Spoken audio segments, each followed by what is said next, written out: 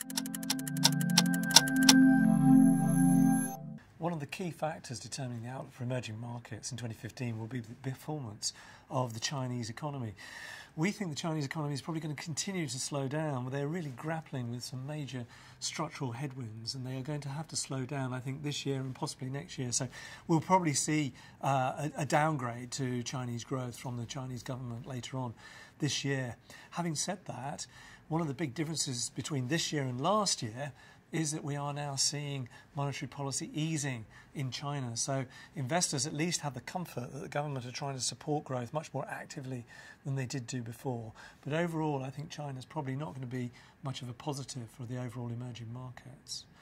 Another factor is commodity prices. And of course, commodity prices have fallen quite substantially, and that's hit many of the emerging market economies. About half of emerging markets' uh, exports are, are related to commodities. There is a chance that we see some stability in commodity prices this year if we can get cuts in the supply side. So, if, for example, in the oil sector we start to see some of the shale gas production in the US beginning to come off, and that would tend to stabilize prices. If we get that combined with signs of better growth coming through in the Eurozone and in the US, then the environment for emerging markets will probably improve quite considerably. But we're probably looking more at the second half of this year rather than the first half.